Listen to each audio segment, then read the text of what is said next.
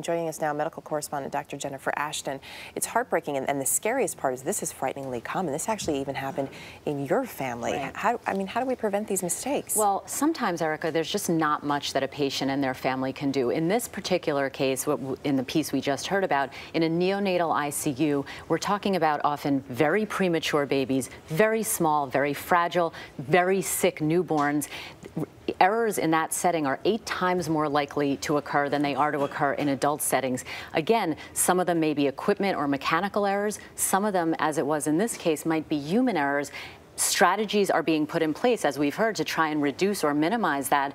But you know, you, you just have to hope for the best and be active and involved when you when someone in your family is in that setting. So that's one of the most important things you can do because right. Uh, you have to do what you can on your end. So before I even set foot in the hospital, if possible, what do I need to be thinking about? What should I do? You want to do your research first of all. You want to find out about the hospital. You want to talk to your doctor if possible, if it's an elective or scheduled situation, and ask as many questions as possible. And if you're talking about being admitted to a hospital, it's always a good idea to bring a friend or relative with you and have someone there at all times who's not as emotionally vested in what's going on, but can really pay attention, can hear what's being said to you as it's being explained, mm -hmm. and, and be able to repeat that back to you if necessary. And, and once you are in the hospital, there are important questions you should ask, or bring someone with you who's able to ask those questions, I guess. Exactly. And again, the key here is to be active, to be involved, to be an advocate. A lot of people are embarrassed or ashamed and they don't want to speak up, they don't want to cause trouble. That's actually the opposite of what a patient or their family should do. So there are a couple of key tips.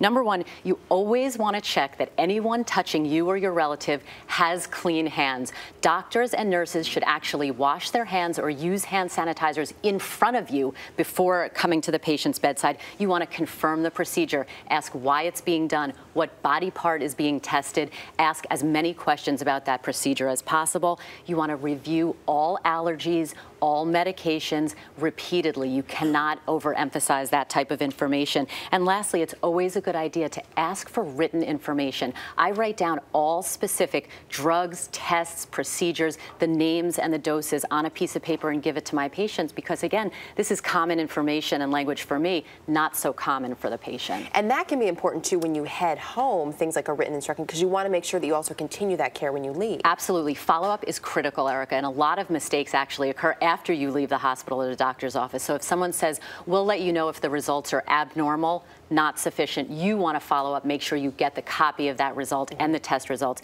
if possible, in printed form. Some great information this morning. Jen, thanks. You bet.